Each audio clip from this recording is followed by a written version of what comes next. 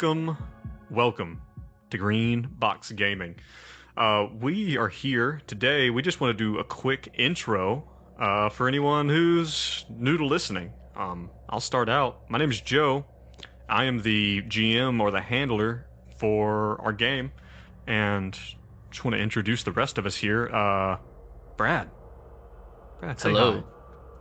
I am the player in Delta Green.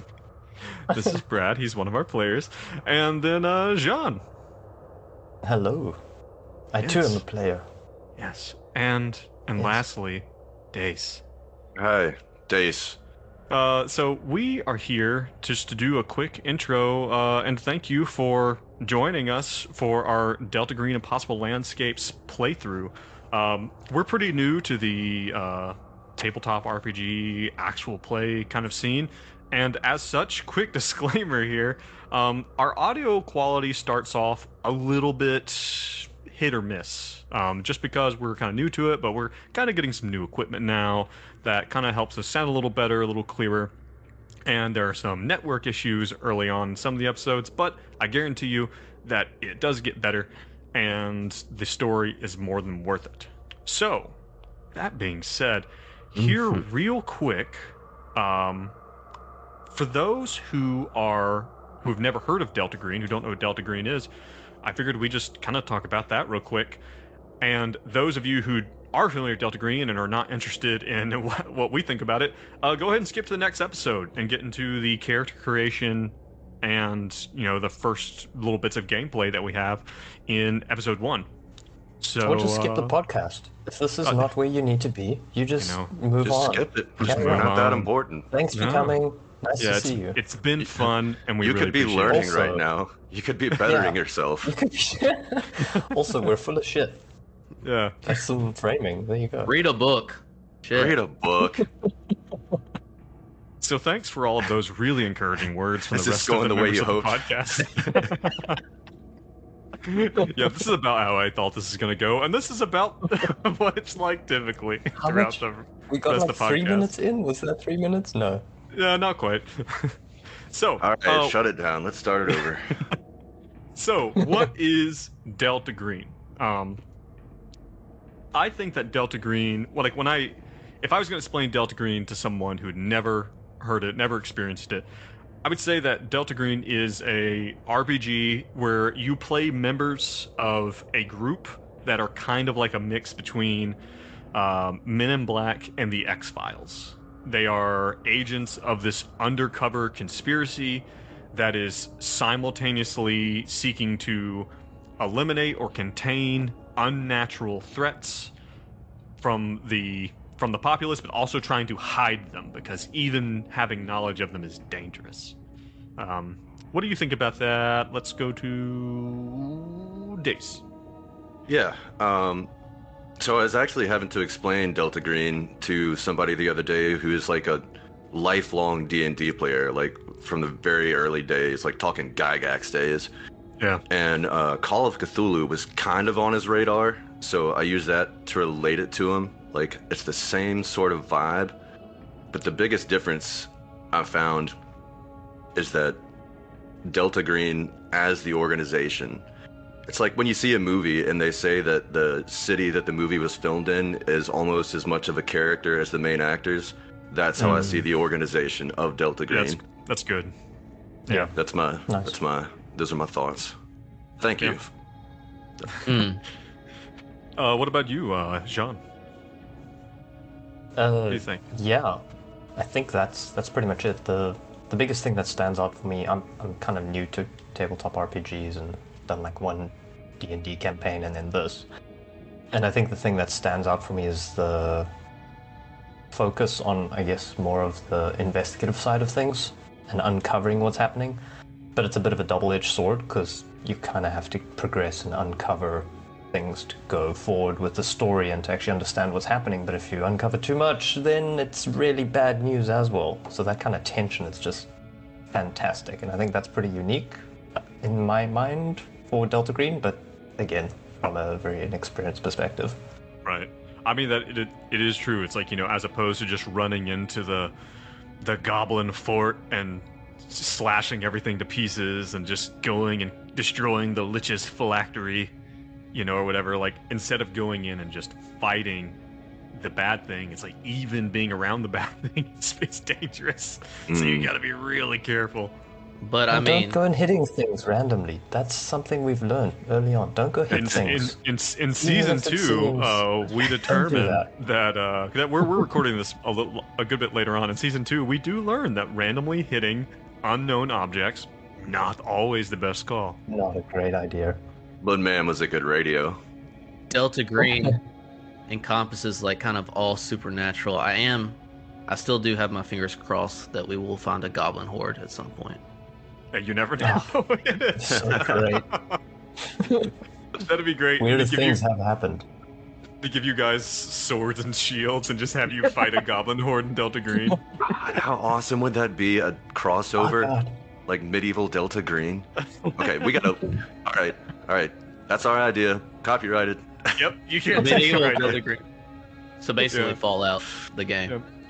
Well, and Yeah. well, so Brad, what and like, what do you what do you have to add then about like how would you describe Delta Green to someone who never experienced it before, or maybe like what uh, Dace was saying, who has experience with something else? From a player standpoint, it seems to be like two elements are always involved in at least what we've played, and that's like a mystery to be solved. And I just forgot what my other one was. Oh, Nice. fantastic. nice. Red hot Uh, audio. Oh no, there's way more role playing than other Mm, than like yep. D and D. Like it's way less combat oriented. So there's way more role playing involved, and there's always like a mystery is the main focus, not Right. necessarily. Well, I mean, I guess there is an objective, but it's more wrapped into like figuring Right. out what's going on. Is the role playing just like us doing our flavor of it, or is it just in general the Delta Green demands more of it? I think I think the game itself leans more Okay. heavily into it because if you Yeah. think about it, you could hype you could theoretically play through like a D&D or Pathfinder game and just kind of lean into the mechanics of going in, knocking over bad guys and taking their loot. Um And never saying a word. God, it'd be a boring game, but I guess you could. I'm saying a word. Just dice rolls. But I suppose you could do the same thing in Delta Green, and that doesn't mean that those games are bad. Like we love those games. Um, but I think that, like, I know in Delta, and but the, I think you're right. The focus is on the combat a lot of times in those Mhm. games, and like all of your spells and all of your, you know, all of your feats and your skills. A lot of them are built around supporting violence, just supporting the actual fight. with those it's like s- a lot of some of the fun is just like oh what is this new power i'm going to get when i level up there are no Yeah. level ups quote unquote that i'm aware of and any, any of the like perceived like level ups always come at some kind of cost normally Mm, that's sanity a good point. Yep. Yeah. Yeah.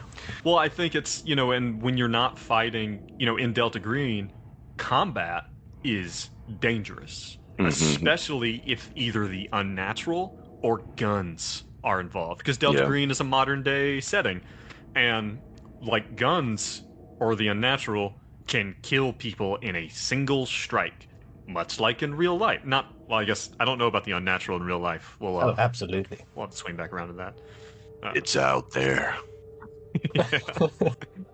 but yeah, so like in Delta Green, you know, fighting is dangerous as and as you know, anyone who goes forward and listens, you're going to hear in both season one and in season two, there are um, there's some combat in there, and especially the one that comes up in season one, it comes up like, man, like this is really hard, but we, you know, as we're going through it, we actually talk about it, and it's like, no, this is how it should be because we are we're not demigods. We're not people who have, you know, three barbarian rages a day, and we're not, you know, we're not individuals who have. Speak for yourself. Spells. Oh, it- okay. right, We just have three impotent rages a day. yeah, but yeah, so it's. I think it really makes a big difference, and I think that's what you're talking about, Brad. That leaning mm-hmm. into the RP elements to develop what does a character who doesn't have a tool in their toolbox for every situation, what do you do? And that's where the Yeah. RP mm. comes in. die in a lot of cases. in a lot of cases, you just I- die. Yeah. Right. Yeah, the stakes are just so much higher than like traditional D and D. I think yeah. Yeah. death is around ex- every corner. Well, I think the expectation, especially in a long form game like what we're playing. So anyone, you know, again, if you're listening, you know, at this point, we'll tell you that we're playing Impossible Landscapes, which is Delta Green's first full blown campaign by Arc Dream Publishing. Um, it is massive. At the time of recording, we are more than 20 episodes in, and I doubt that we are we we're not to the halfway point yet. Uh, and so this is going to be a long haul story, and I think the expectation is, especially in a long form game like this, you're gonna lose people because, you know, very similar to like Call of Cthulhu, the things you're encountering, the unnatural that you're encountering, is all so dangerous, and you just cannot fight it every day or every week and last. It's just yeah, it's just you know, it's like a soldier going into combat every week. Like something's gonna get you eventually. If not that, then old age, judging by how our characters Yeah. are now. That looks to be this is the, true. that looks like where we're going. And also, if you die in this game, you get kicked from the podcast. I think those were the rules, yeah? I think that's the rules. Well, and, and not only do you get kicked from the podcast, but I think if you want to come back, I think the other members from the podcast uh, get to like beat you up all together. So like we all come together and Right. you know, and just Closest really, thing to permadeath. Yeah. So like we get you as close to permadeath in real life as possible, and then you're This allowed po- back on the podcast. This podcast is blood in, blood out, baby. Okay, no That disclaimer. This is this is not blood sport. No. Not yet. That's uh that might We be a have fun. Patreon tier is eventually is the blood sport tier. See us battle to the death. The blood sport goblin horde. Yeah. If there's a market Uh, for that, let us know. I guess. Uh, yeah, hey, hit us up on Reddit, I guess. To be clear, we are very desperate. It's only a twenty dollar tier. But yeah, We will show you our blood for twenty bucks. right. yeah. All right. Uh, well, you know, took a I think we. I yeah, it took a dark turn. Always listen, does. I, I think that we uh I think that we kind of covered what we're doing here. And listen, uh go forward, listen to the podcast. I the story is super strong and we have enjoyed every second of it. Something I mentioned a little later on is that if we even if we never recorded this, even if we recorded it and no one ever watched it, we're going to play this campaign because we want to play this campaign and we're having an incredible time with it. So, and I just hope that anyone listening that you're along for the ride and that you enjoy it. Well, uh, thank you for joining us, and uh, we look forward to look forward to you coming along on our journey with us. Thanks, and uh, we'll see you in the first episode. Adios. Bye. Bye.